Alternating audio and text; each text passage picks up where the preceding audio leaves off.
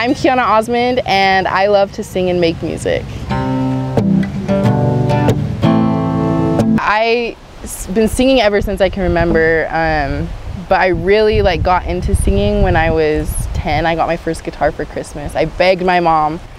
I mean, I've always loved to sing and it's always been like a dream to that I've had in the back of my head, but it's never been something that I was really serious about. I never even sang in front of people really until I was about 16. I did this thing called Cache County Idol, and um, I ended up winning the whole competition. And I was like, oh my gosh, people actually like to hear my music. And that's really when I was like, okay, maybe I can do something like this.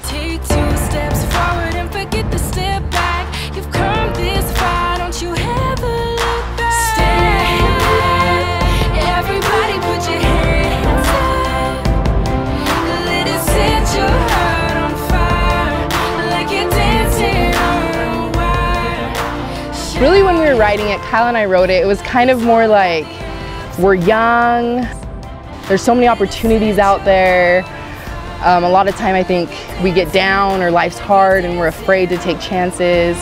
And so really it was just like dancing on a wire, like take risks, dance on a wire, like be risky, but I mean, have fun and I don't know, we're young, so why not take these chances? Why not have these dreams? We released the video and we're in the newspaper and our song was on the radio and um, people would come up to us and be like, hey, we heard your song, we love your song. And it was really cool and it opened up a lot of other doors for me to share my music. So it was a really cool opportunity. I always say that my guitar is like my journal because it's really how I express myself. It's how I vent.